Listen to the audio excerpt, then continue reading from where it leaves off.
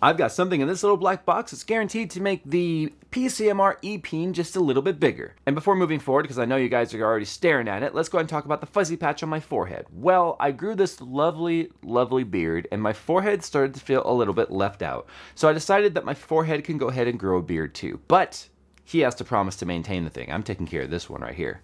So, yeah, Uh, can we can we move on now, please? Inside this little black box is something that I said I would actually not get unless Intel sponsored, and they were gracious enough to go ahead and sponsor it.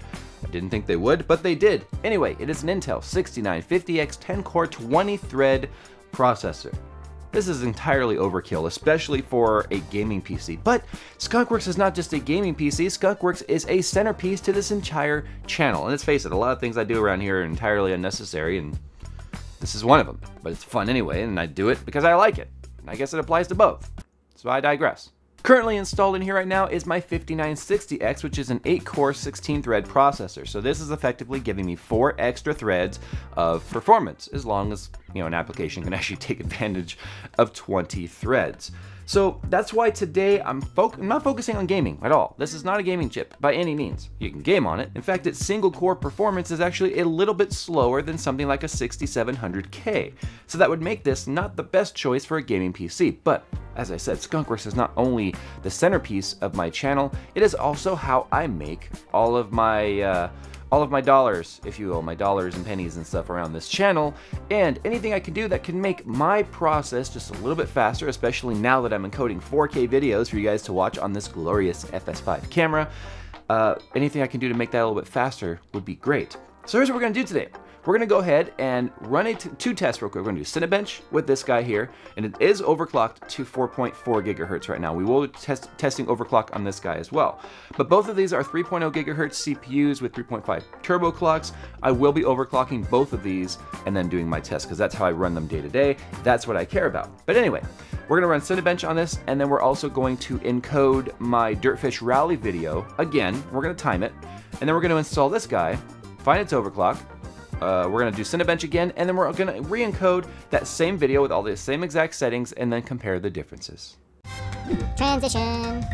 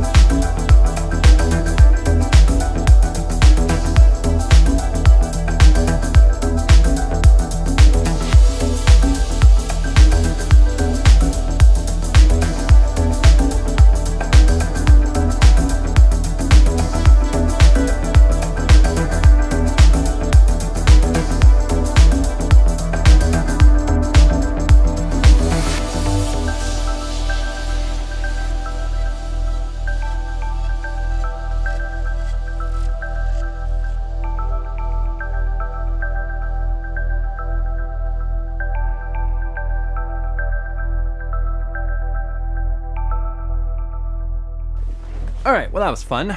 Um, you guys got to kind of see what's involved with doing simple things like changing out a CPU when you have rigid tubing in your system. It's not exactly as easy as uh, you would kind of hope, but anyway, it's still fun and looks cool. But I have got the 6950X installed right now. It's running at 4.4 gigahertz, which it can go farther. I just did an effortless 4.4 gigahertz overclock on it, one that I know works with the uh, 5960X. So it kind of gives us a good apples to apples comparison anyway between both of these tests when I compare them at the same frequency. Now I'm to be seeing how far the CPU can go when I have more time to spend with it. I would not have been able to get this video done in time for when I want to upload it if I was screwing around with the overclocks trying to find its max stable, which sometimes can take days or even weeks as some of the CPU starts to settle in, if you will, for lack of a better term. But anyway, at least what you're to see here is apples to apples, 4.4 gigahertz, Broadwell E versus the older Haswell E. So on Cinebench, the 5960X scored a 1725, which is actually really good. That's a very good score. Uh, much higher than anything you're going to get on mainstream. That's because Cinebench takes advantage of multi-threading heavily, and so it's going to optimize very well towards multi-threaded uh, CPUs that have tons of cores and logical threads over ones that have better per core performance. Uh, so when I installed the 6950X, I actually got a 2263. So we are talking over 500 points of uh, increase on it. That is huge. That's that's closer to 30%. Um, but what about with what I use every single day, which is being the Adobe Creative Suite, uh, Creative Cloud, Photoshop, and all that stuff? Well, we actually, by rendering that video I showed you with the rally school, the Dirtfish Rally School, um, it was 16 minutes and 50 seconds from the moment I hit encode on a 35 megabit 4K video uh, on the 5960X. But when I installed the 6950X, no, I'm always gonna get those numbers.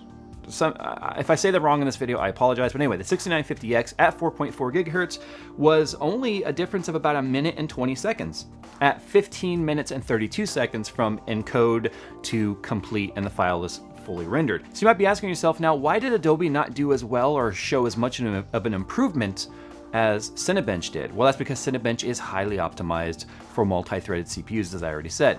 Now, although Adobe is also optimized for using additional threads where available, it does not take full advantage of high thread CPUs, which is why in some tests people have shown that the 6700K is actually better at Adobe than these high-end massive extreme CPUs. So there's a little bit of trade-off there. And the improvement that we actually saw, although again, the extra cores were being used, but not at uh, full utilization, not 100%.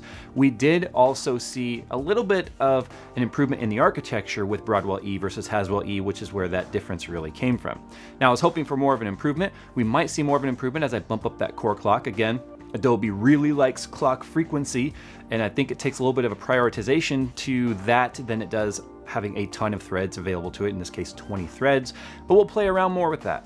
But guys, this is why you hadn't seen the Skunkworks benchmarks video yet, because when I did that build, I reached out to Intel and asked if they're interested in sending me a CPU, and of course, uh, they were willing to do that. But there was a lot of events and stuff happening between now and then. It took time to get it. I've got it, it's installed, now we can start benchmarking games and stuff. And I also have to consider whether or not I'm gonna go to Windows 10 on this machine to take advantage of DX12 or do all my tests on DX11. Because again, I'm still on 8.1 Pro over here. I'm happy with it. It ain't broken. I don't really want to fix it.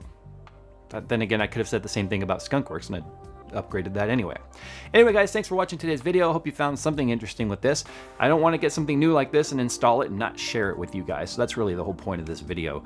But moving forward, we're going to see some pretty badass content coming up. I know it's kind of been lackluster lately, and I apologize for that. I'm gonna do the best I can to make things exciting for you to watch again. So stick around, stick with me, and tell me what you wanna see, and do the best I can to get that all in there. Anyway, guys, thanks for watching, and as always, I'll see you in the next video.